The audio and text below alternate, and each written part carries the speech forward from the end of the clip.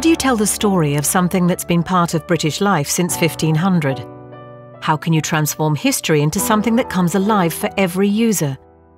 We've taken the challenge of telling the 500 year history of Royal Mail's innovation heritage by creating an experience you can dive right into, where multiple layers of multimedia, multisensory storytelling take us from the earliest days of the post right up to the present day, where stylized animated backgrounds set the scene for each age, and evocative sound design brings bygone worlds to life. Where the beguiling mix of audio, video, written text, and animation build into an experience just as educational as it is informative, that works perfectly for all kinds of user, from primary school kids to postgraduate academic researchers all drawn together by a voiceover that explains the nuances of the story and leaves you wanting to find out more.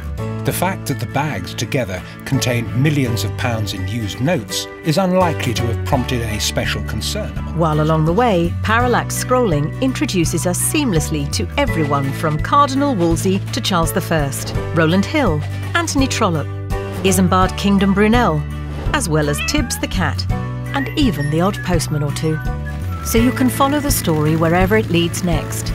And of course, it's a timeline that's fully optimized, making it as easy to enjoy on your favourite device as it is to post a letter. And like all the greatest stories, it even comes with a surprise ending. Royal Mail Timeline, telling an unforgettable story in an unforgettable way.